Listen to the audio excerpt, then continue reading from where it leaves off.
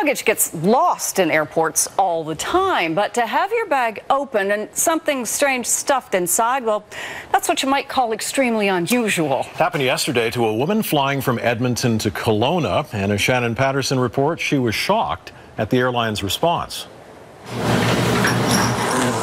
She packed light for her flight to Kelowna. Just some vacation clothes, a couple hats, sweaters, jeans.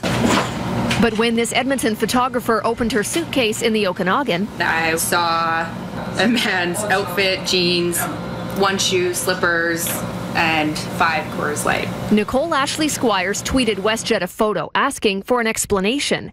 The airline tweeted back, What happens in Vegas? I didn't know whether to laugh or to be angry about the response. It was pretty inappropriate. We'll certainly apologize to her. That's probably an attempt at humor that was a little off the mark. As for what happened to that suitcase in the secure area of the Edmonton airport, the baggage staff noticed that a bag was open, and right next to the bag were some clothing and some cans of beer. The bag staff uh, decided to put the items uh, in the bag next to it that was open. I don't see how that could happen. Yeah.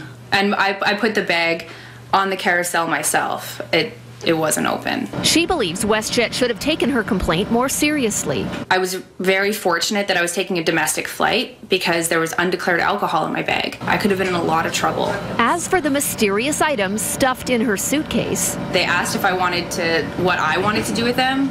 I obviously don't want the men's clothes or the beer. Um, so I'm going to leave it with the front desk and they're going to pick it up. So if this is your clothing and Coors, call WestJet. Shannon Patterson, CTV News.